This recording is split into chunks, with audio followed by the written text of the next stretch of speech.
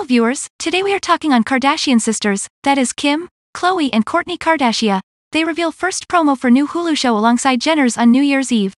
Let's watch further details in this video, hit like and share with your friends. The countdown is officially on to the Kardashians' new show on Hulu. And just hours before the new year, the reality family released a short teaser for the show. The quick clip, which Khloe posted to her Instagram, starts with a message to fans. When the countdown to the new year ends, the countdown to the new show begins.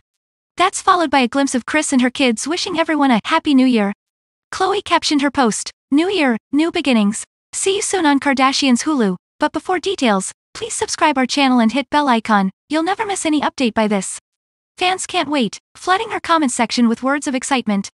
One fan exclaimed, I am so ready, while another shared, best thing to ever start 2022.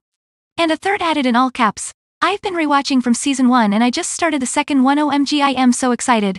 In October, Khloe revealed the premiere date for the new series during an appearance on The Ellen Show.